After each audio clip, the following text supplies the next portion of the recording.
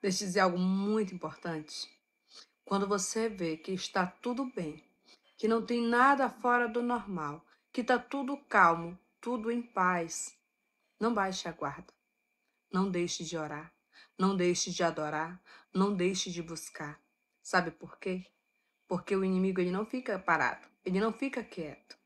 Se não está normal, se não tem luta, se não tem batalha, se não tem algo dando errado, algo dando trabalho, pode ter certeza que não está normal. Sabe por quê? Porque a nossa vida é feita de lutas. Aí você me diz assim, Franci, eu vou viver a minha vida toda lutando, eu preciso de um pouco de paz. A tua paz é interior. A paz que você precisa é interior. O inimigo ele não para.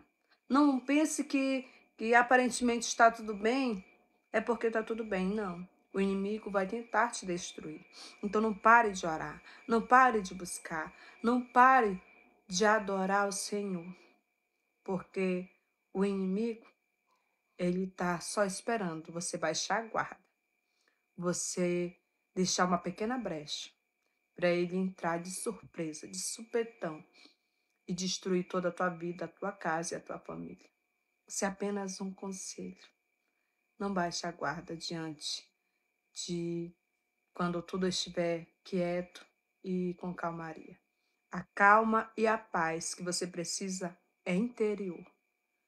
De resto, Pode ter certeza que a vida é feita de lutas, mas que todos os dias você vencerá, porque aquele que é contigo, que te guarda e te protege, garante a tua vitória.